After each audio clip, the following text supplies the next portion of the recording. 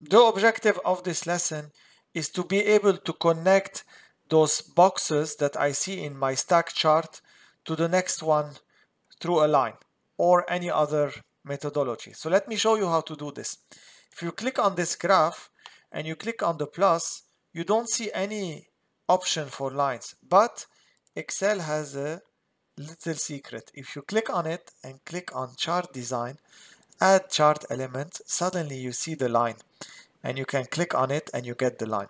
Now once you do this, you click on the line, you right click, you do format data series and you get this. So now I can change, for example, I want to make it like this, change the style, I can do it. And this is how you add lines. So that's the easy one. If you want to do a more sophisticated method, and I don't know if it looks nicer or not, uh, it's up to you. I will show you how to do it. So let's remove the lines. So I click on them, then I press delete on my keyboard. And then I'm gonna select my data, then Control C to copy my data. Then you come here on the chart, you click on paste under home, paste special. And yes, you can paste special data in a chart directly. So I do new series, value y in, it's in the rows, it's here, the values that you can see here. Series name in first column, yes, I have this, I want to name them like this. And then category X labels in the first row. So this is my first row, this is my X label, yes. So I say okay. And then Excel create the double of my data. So you see, for example, 251, 251, and so on. Because Excel thinks that I want to add data. And you can see at the bottom, I have carrot, apple, and banana again. Now we're going to transform this into a stacked area chart. So we click on the chart, right click, and then we do change chart type.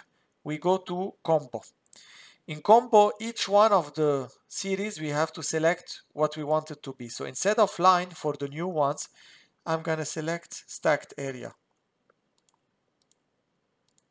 And this is stacked area for the three. Instead of clustered column, I'm going to use stacked column and the other two are automatically done. So once we click, you can see that my three series added are gone and now they are in the background. Obviously, it's still very ugly. So we're gonna fix it. The first thing I want to do is I click on this. I can click on the font white just to have this in white.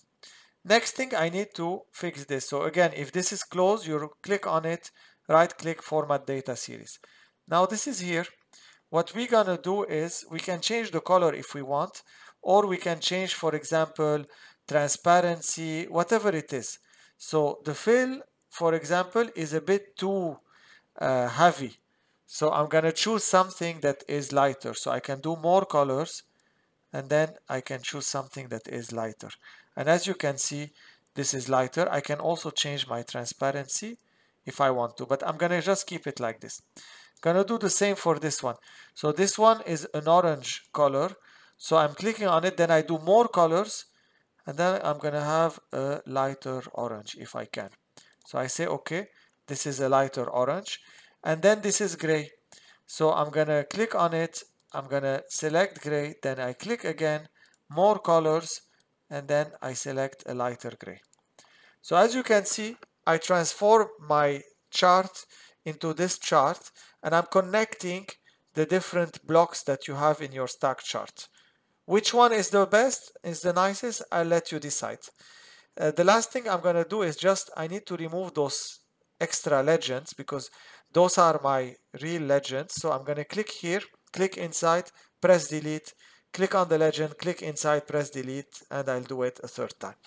And here we go.